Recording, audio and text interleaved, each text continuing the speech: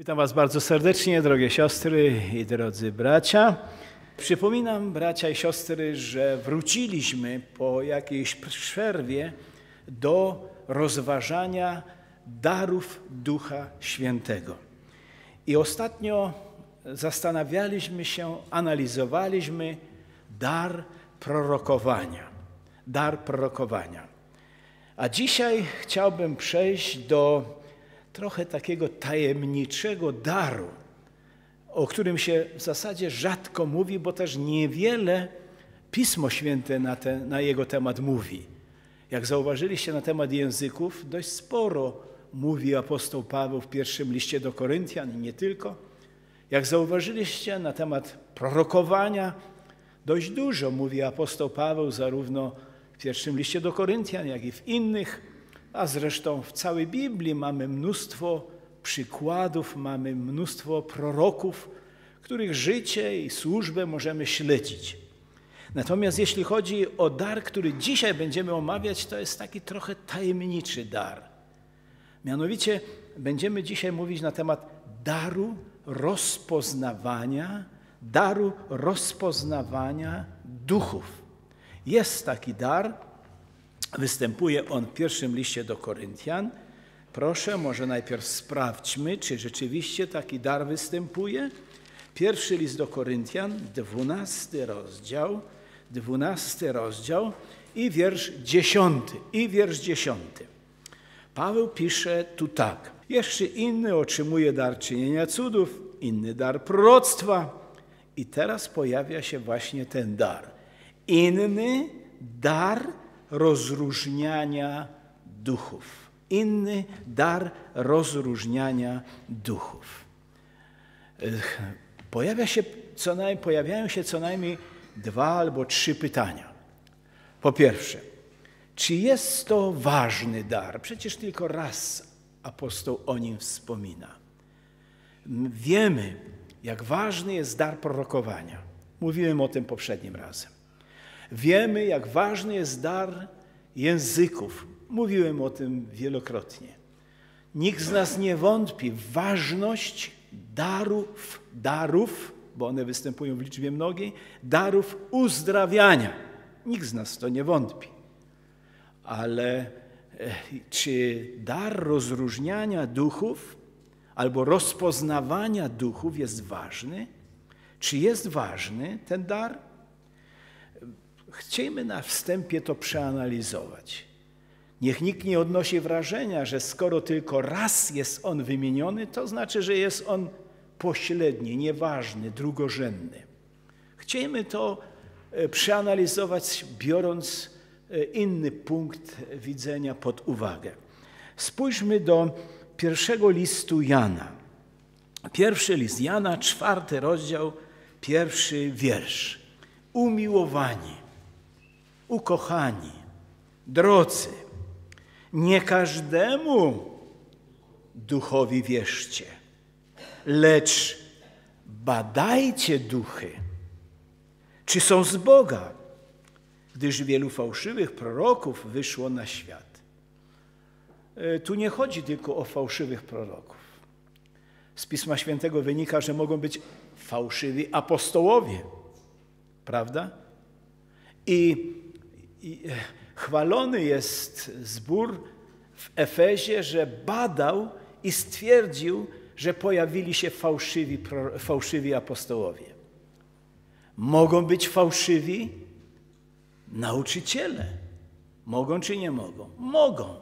I Pismo Święte wielokrotnie nas przed nimi ostrzega. A więc mogą być i fałszywi ewangeliści, mogą być fałszywi nauczyciele, Mogą być fałszywi apostołowie, mogą być fałszywi prorocy, a więc mogą być różne opcje fałszywości, fałszu. No i teraz jest problem, pojawia się problem. Pojawia się, kochani, problem. Dlaczego?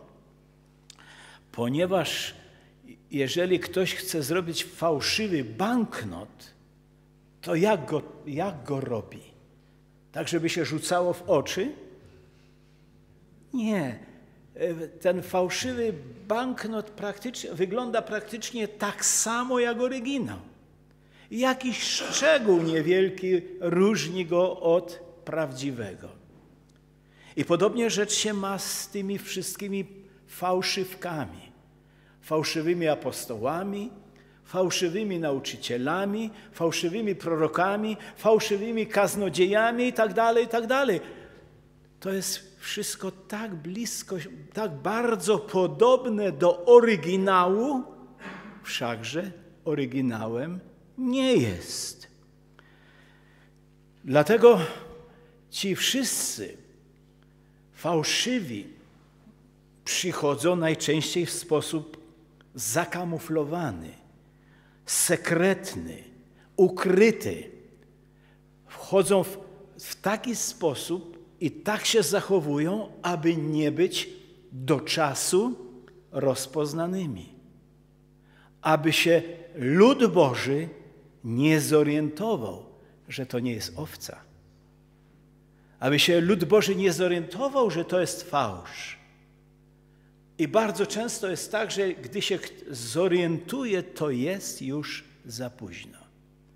Już został zraniony, już kły, szpony tego wilka wbiły się w jego duszę i już jest praktycznie za późno. Zauważcie, co na ten temat mówi przede wszystkim Pan Jezus i co mówi, co mówi apostoł Paweł. Pan Jezus w Ewangelii Mateusza w siódmym rozdziale, w piętnastym wierszu mówi tak. Strzeżcie się, zważajcie, bądźcie czujni, strzeżcie się fałszywych. No, Pan Jezus tu precyzuje, mówiąc o prorokach, ale jak mówię, to można poszerzyć. Nie tylko o urząd proroka czy służby proroka Y, bo jak mówię, inne miejsca Pisma Świętego poszerzają to, mówiąc o apostołach, nauczycielach, ewangelistach. Strzeżcie się więc fałszywych, na razie się na tym zatrzymajmy, którzy, i dalej, przychodzą do was w jakim odzieniu? Owczym. Oni nie przychodzą z podniesionymi wargami, by szerzyć, szczerzyć zęby, by objawiać swoją fałszywość, by objawiać swoją drapieżność, swoją niegodziwość, ale przychodzą jak potulne baranki. Przychodzą w owczych skórach. Owcza skóra, ale de facto wewnątrz są kim? Drapieżnymi na dodatek wilkami drapieżnymi wilkami. A więc fałsz ma to do siebie, że się nie ujawnia. O, gdyby tak diabeł się ujawnił Ewie w ogrodzie Eden i powiedział: Ja jestem. Ale popatrzcie, on przyszedł tak potulnie, łaskawie, schlebiając Ewie, rzucając przynętę, i Ewa dała się zwieść a nie tylko Ewa, bo przecież Biblia jest pełna opisów osób, którzy, którzy połknęli tę przynętę wroga. Ktoś słusznie zauważył, ja chyba, chyba to, to ma rację, to jest racją, że wilk, wilk pojawia się zawsze tam, gdzie są owce. A więc jeśli są owce, to należy się spodziewać również i wilka. Wilk nie idzie gdzieś tam, gdzie nie ma owiec. I ten duchowy wilk, duchowy wilk w owczej skórze pojawia się tam, gdzie są owce. A e, kim są wierzący ludzie? Pan Jezus mówi, że są owcami. A więc owce muszą brać to pod uwagę. Muszą być świadome, że skoro one tam są, to może się pojawić wilk. Już parę, parę razy akcentowałem, że nie, nie, mogło, nie byłoby fałszywych dolarów, gdyby nie było prawdziwych dolarów.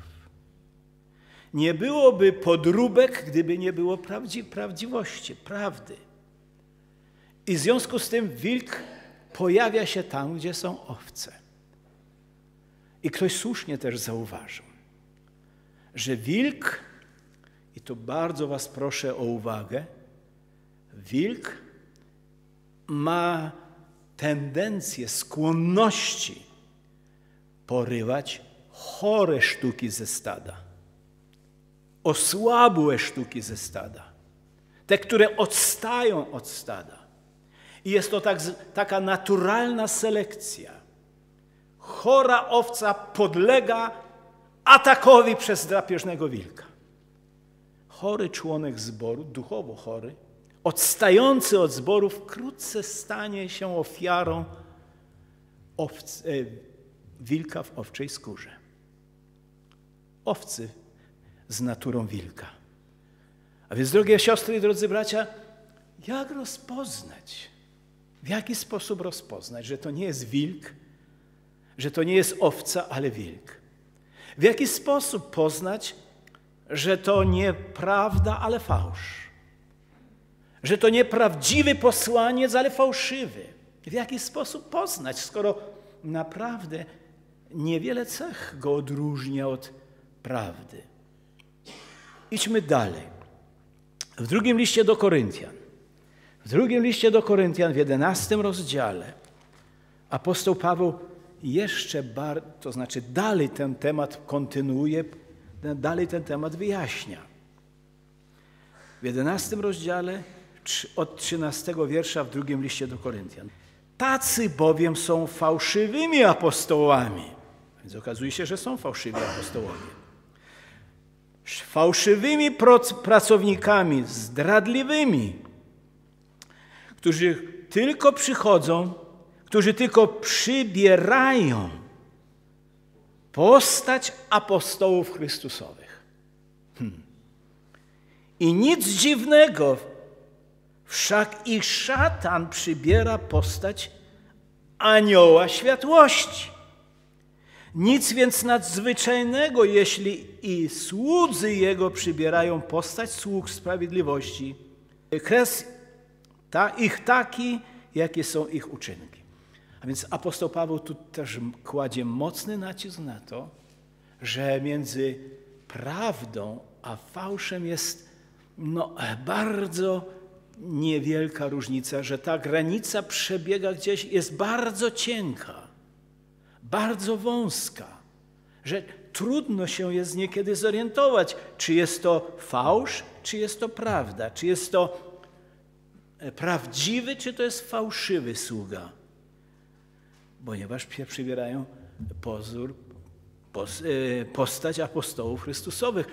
No a już zupełnie niepokojący jest wiersz 14, gdzie jest powiedziane, że szatan przybiera postać anioła światłości. No kochani, jak byśmy zareagowali, gdyby oto przy drodze, po której idziemy, stanęła postać postaci anioła światłości. Przylecielibyśmy do zboru i opowiadali, jakie to mieliśmy nadzwyczajne, duchowe przeżycie. Bośmy widzieli anioła światłości, anioła. Jestem przekonany, że większość zboru patrzyłaby z, no, z niesamowitym zainteresowaniem. Ta siostra widziała anioła. Jutro cała Polska by o tym wiedziała. Ale czy ta siostra albo ten brat byłby zdolny w tym samym momencie pomyśleć, jaki to był anioł? Skąd się wziął? Kto go posłał? Prawda? No, tego prawdopodobnie już by nam brakło. Albo wielu ludziom by brakło. No więc jak poznać, czy to jest prawdziwy anioł, czy, czy to jest fałszywy anioł? Czy to jest owca, czy to jest wilk? Czy to jest prawdziwy apostoł, czy to jest fałszywy apostoł? Czy to jest prawdziwy nauczyciel, czy fałszywy? Po czym poznać? Ha. Może jeszcze zanim powiemy, po czym poznać, to najpierw powiedzmy sobie, po co oni przychodzą. Ci malowani, fabrykowani, fałszywi, e, fałszywi, e, fałszywe owce, fałszywe, fałszywi aniołowie, fałszywi nauczyciele, fałszywi apostołowie. Po co oni przychodzą? Zapytajmy o to najwyższy chyba po Jezusie autorytet Nowego Testamentu, a jest z nim niewątpliwie apostoł Paweł. I oto w swoim pierwszym liście do Tymoteusza, w czwartym rozdziale, pierwszy list do Tymoteusza, czwarty rozdział i potem drugi list do Tymoteusza, także jeszcze potem na to e, dojdziemy do tego, po czym poznać. A tu czytamy tak. A duch wyraźnie mówi, że w późniejszych czasach odstąpią niektórzy od wiary i przystaną do duchów zwodniczych i będą słuchać nauk szatańskich. Więc jaki jest podstawowy cel przychodzenia tych duchów zwodniczych, na które apostoł Jan każe nam zwracać uwagę? Zwodzić, zwodzić, zwieść, odprowadzić od prawdy, zwieść. I Paweł mówi, że tak, no niestety z bólem stwierdzam, że niektórzy odstaną od prawdy i dadzą się zwieść. Zważajmy, bracia i siostry. Nie bądźmy pochopni, nie bądźmy lekkomyślni, bo diabeł krąży jak lew ryczący właśnie po to, żeby zwodzić, zwieść, odwieść od prawdy. Popatrzmy także na przestrogę Pana Jezusa, zawartą w Ewangelii Mateusza w 24 rozdziale, a wierszu 5. Pan Jezus tu mówi o czasach ostatecznych, a więc o tych czasach, w których my żyjemy. I zwróćcie uwagę, czym się, czym się te czasy będą między innymi charakteryzować. Będzie to, będzie tamto, będzie tamto. Pan Jezus wymienia, wymienia, wymienia, ale na samym wstępie w wierszu piątym mówi, mówi tak.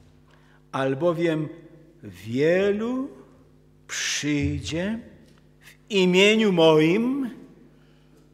Yy, oni nie przyjdą, ja przychodzę w imieniu Buddy. Oni nie będą mówić, ja przychodzę w imieniu Allaha, ale będą przychodzić w imieniu Jezusa. To, że ktoś powie, że przychodzi w imieniu Jezusa, to jeszcze nie znaczy, że jest prawdziwym apostołem. To nie znaczy, że jest prawdziwym nauczycielem. Bo popatrzcie, celem przyjścia tych fałszywych jest jam jest Chrystus i wielu zwiodą. Celem ich przyjścia, nawet z powołaniem się na Chrystusa, na imię Jezus, jest to, aby zwieść. Aby zwieść. Więc w związku z tym jeszcze może dodajmy do tego wypowiedź Pana Jezusa, zawartą w Ewangelii Jana w dziesiątym rozdziale, w dziesiątym wierszu, żeby nikt nie miał żadnych wątpliwości, w jakim celu przychodzą ci fałszywi, przez oczywiście nieprzyjaciela posłani, odziani w owcze skóry, przyobleczeni w postać aniołów światłości. W jakim celu przychodzą? Już mówimy o tym, żeby zwieść. A Pan Jezus to jeszcze zgłębia, mówiąc w dziesiątym rozdziale, w dziesiątym wierszu, y, to tę znaną wypowiedź. Złodziej, a ma tu na myśli diabła, który posługuje się różnymi sposobami, najczęściej ludźmi. Złodziej przychodzi tylko po to, tylko po to, akcentuję tylko po to, Jemu nie przyświeca inny cel. Tylko po to przychodzi, aby kraść, zarzynać, wytracać, a więc zwieść, wytracać. Jak bardzo musimy być czujni, jak bardzo musimy być ostrożni. No ale wracamy do pytania: jak rozpoznać? Nie radzę wilka w owczej skórze dotykać, bo pogryzie. Ugryzie ale mimo to trzeba go rozpoznać. Jak go rozpoznać? No więc w zasadzie Biblia podaje nam e, dwa sposoby poznawania. Dwa sposoby poznawania. Jakież to są te dwa sposoby postępowania? Musielibyśmy wrócić do, do słowa, które już czytaliśmy, ale ten fragment akurat, akurat pominęliśmy. Mateusz 7, Mateusz 7, 15. Bo w wierszu 15 Pan Jezus mówi o owcach, e, e, o wilkach, o owczych skórach. Inaczej mówiąc, o owcach z naturą wilka, z drapieżnością i tak dalej. I po czym poznać?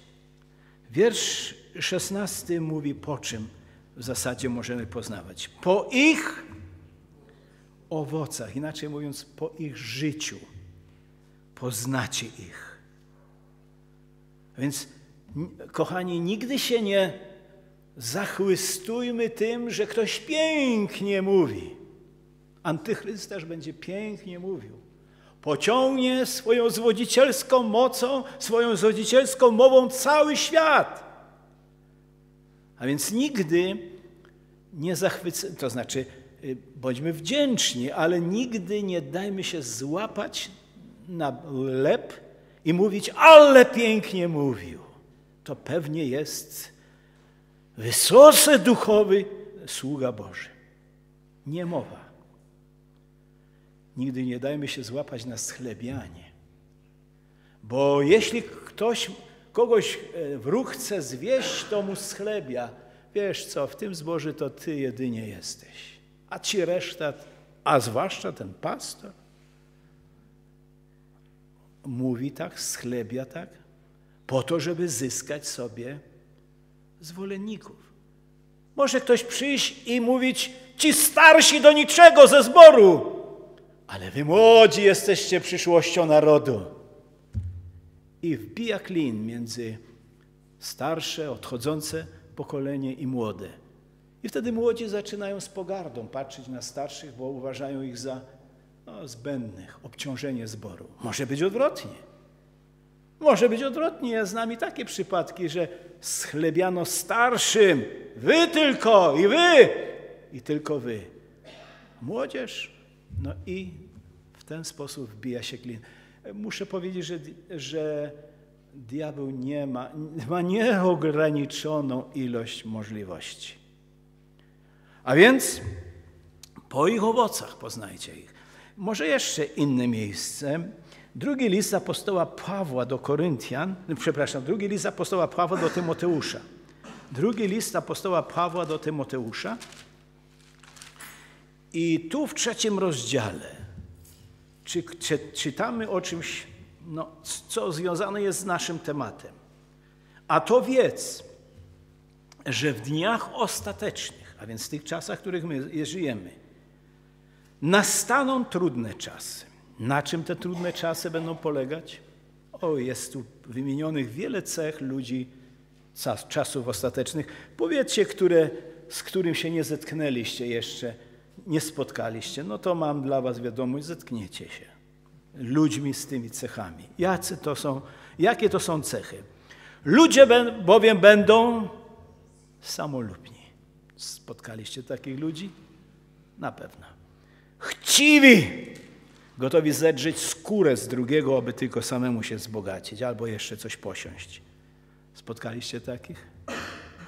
Chełpliwi. Ja, ja, ja. Pyszni bluźnierczy. No, tego tutaj nie ma. U nas takich nie ma. Rodzicom nieposłuszni. Nie, nie, u nas wszyscy są posłuszni. Niewdzięczni, bezbożni, bez serca, nieprzejednani, nieprzejednani, przewrotni, niepowściągliwi, okrutni, niemiłujący, niemiłujący tego, co dobre, zdradzieccy, zuchwale, nie chcę każdego analizować, bo to nie jest mój temat, zdradzieccy, zuchwali, nadęci, miłujący więcej rozkoszy niż Boga. Ale chciałbym zwrócić uwagę na wiersz czwarty, na wiersz piąty. Którzy przybierają pozór pobożności, podczas gdy życie ich jest zaprzeczeniem jej mocy. Chciałbym, żebyście zauważyli takich ludzi. Pobożny, tak, klęczy przed figurą, dalej ja już nie dopowiadam. Pobożny, do kościoła uczęszczający, wypełniający wszystkie nakazy danej religii, nie wymieniam tu żadnej. A więc pobożny, ale ta pobożność sprowadza się tylko do pozoru. A więc to nie jest prawda. To nie jest prawda. To jest udawanie. To jest udawanie, to nie jest prawda. Ja już kiedyś tu mówiłem, że mm, Moody, znany ewangelista, znany ewangelista, przechodził kiedyś, e, ubiegłego wieku, przechodził kiedyś i widział, że dwoje, chłopiec i dziewczynka się bawią. I w pewnym momencie ta dziewczynka mówi do tego chłopca: Ożeńmy się. A chłopiec mówi: no, My jeszcze jesteśmy mali. My jesteśmy jeszcze dziećmi, my nie dorośliśmy. A dziewczynka mówi: Ale to tak na niby. Będziemy rodzicami tak na niby. Iluż jest uczęszczających do kościołów chrześcijan na niby. Na niby. No bo sąsiedzi widzą, że już drugi tydzień nie idę do kościoła, więc trzeba pójść. O, ja nie mogę, nie mogę się stać fanatycznie miłującym Jezusa, bo co? Ludzie powiedzą. A więc na niby, na niby. E, co jest cechą charakterystyczną tych ludzi, którzy na niby są chrześcijanami? Wiecie co? Ich życie, ich nieprzemieniona natura poświadcza, poświadcza albo zaprzecza mocy Bożej. Bo gdyby tak naprawdę byli wierzącymi, i nie zaprzeczali Bożym możliwościom, to ich życie zostałoby przemienione, zmienione.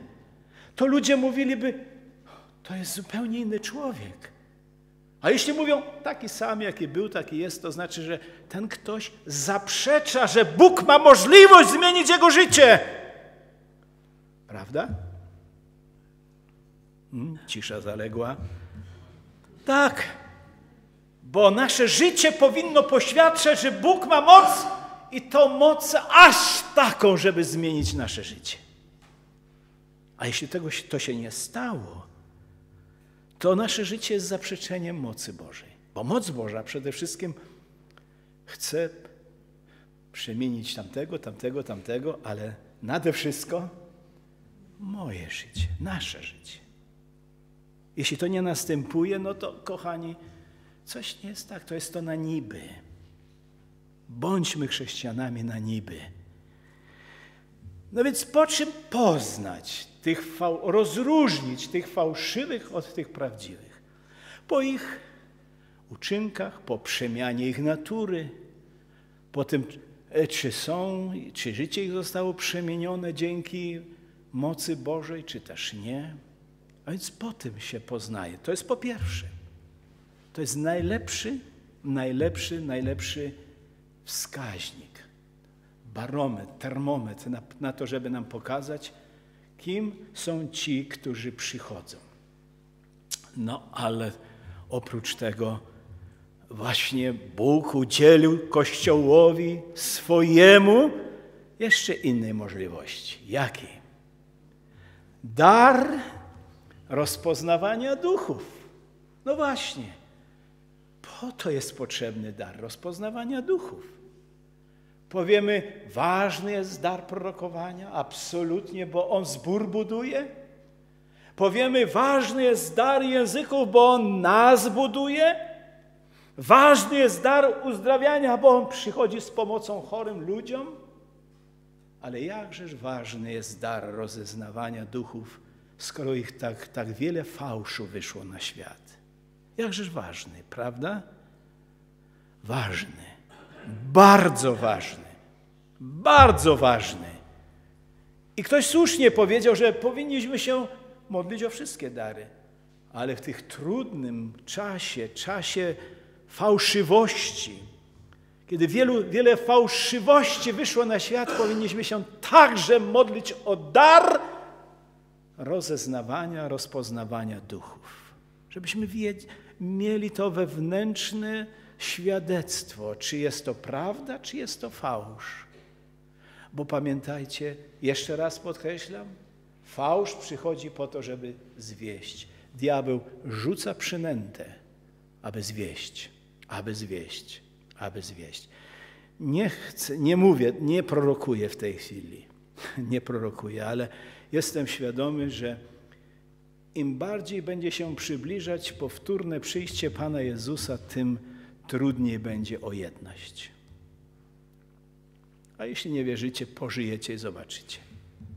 Tym trudniej będzie o jedność, bo te fałszywe owce będą robić wszystko, żeby podzielić stado, rozbić stado, żeby poróżnić brata z bratem, siostrę z siostrą, wierzących między sobą.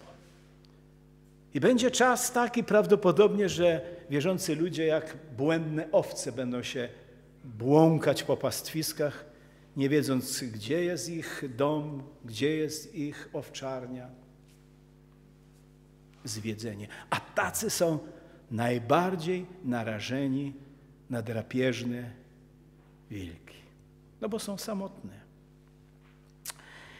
Dobrze, przejdźmy może jeszcze dalej, bo już za chwilę musimy kończyć.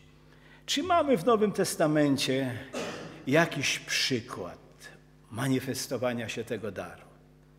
Czy możemy powiedzieć, że tam się objawił dar rozpoznawania duchów? Czy mamy taki przykład? Oczywiście, ci, którzy czytają Biblię, wiedzą, że mamy taki przykład. Otwórzmy szesnasty rozdział Dziejów Apostolskich. Szesnasty rozdział Dziejów Apostolskich i czytajmy trzy wiersze: szesnasty, siedemnasty i osiemnasty. Czytamy tak, a gdyśmy szli na modlitwę, Paweł mówi o sobie i jednocześnie Łukasz, który pisał dzieje apostolskie, mówi tu także o sobie, bo mówi w odniesieniu także do siebie. Nie gdy szli, tylko gdyśmy szli na modlitwę, zdarzyło się, że spotkała nas pewna dziewczyna, jest od razu powiedziane, która miała ducha wieszczego, czyli wróżbiarskiego. Będziemy w swoim czasie o tym mówić a która przez swoje wróżby przynosiła wielki zysk panom swoim. Ta idąc za Pawłem i za nami wołała mówiąc Ci ludzie są sługami Boga Najwyższego i zwiastują wam drogę zbawienia. No i jak myślicie, mówiła prawdę?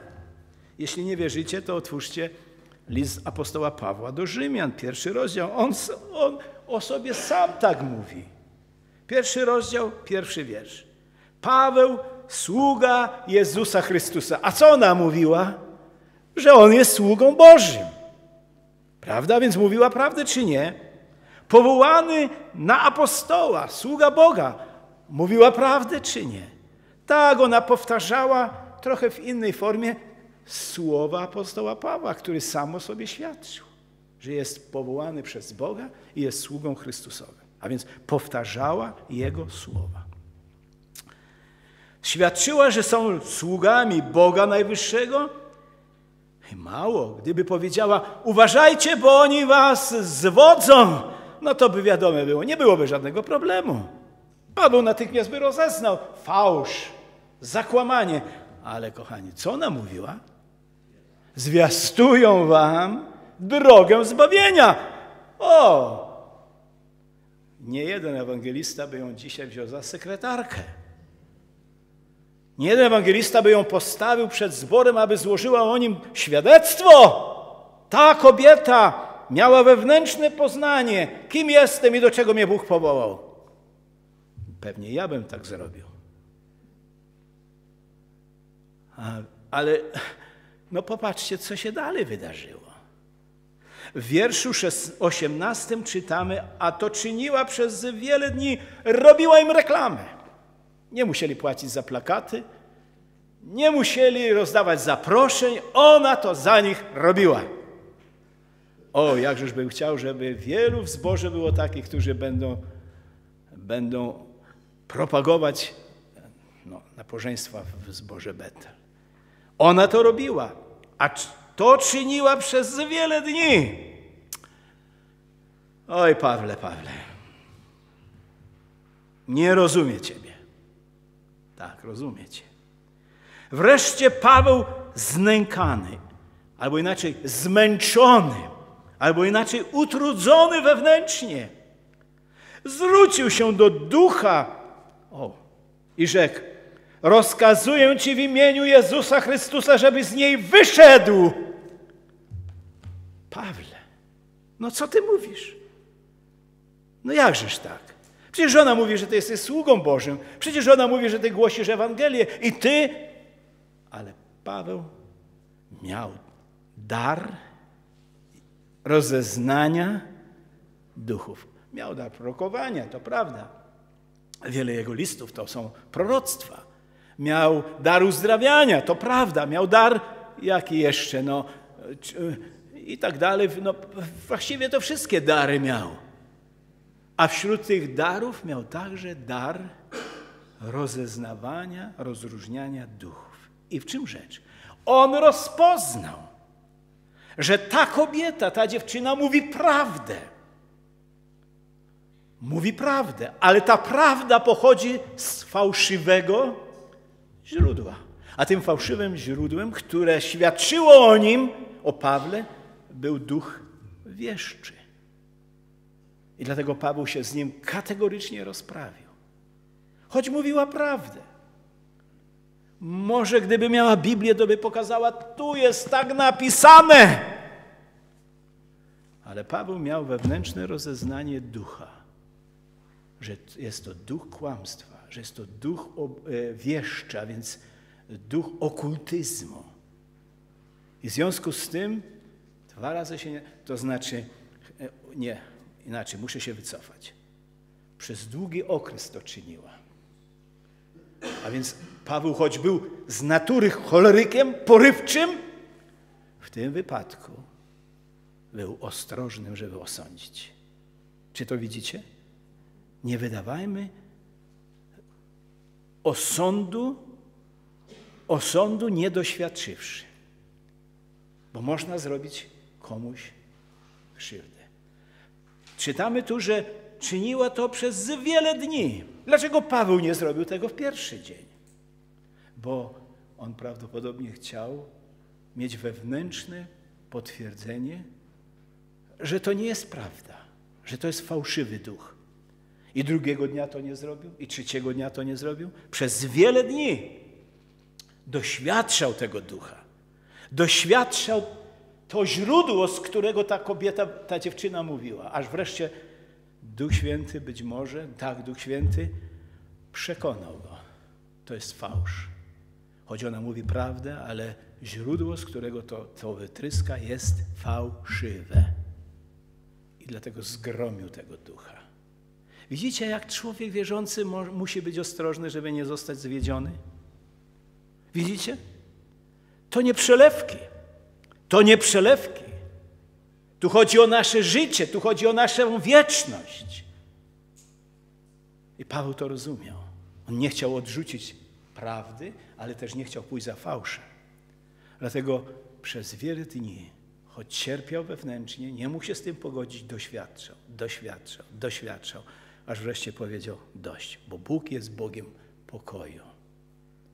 Bo Duch Święty zawsze przychodzi w pokoju.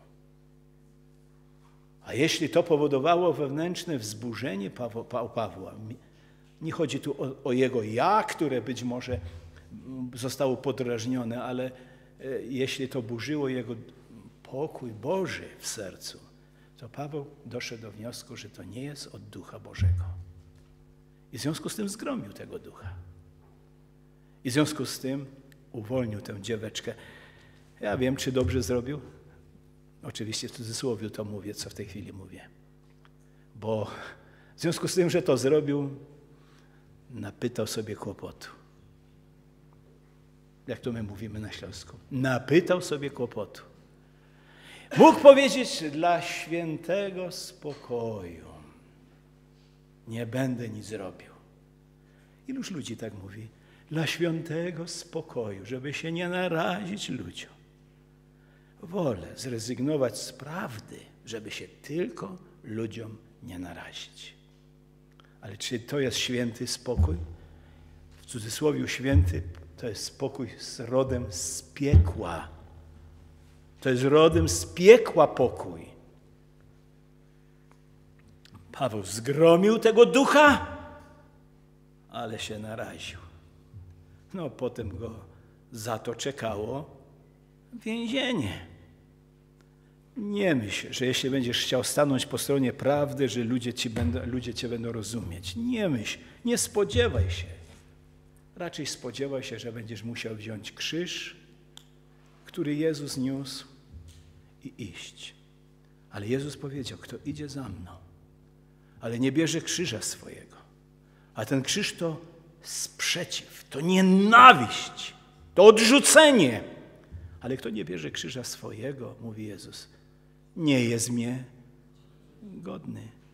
Może ci okna powybijają, może cię z pracy zwolnią, no jeszcze może coś zrobią, ale by iść za Jezusem, trzeba wziąć na siebie swój krzyż. Nie można iść na kompromisy.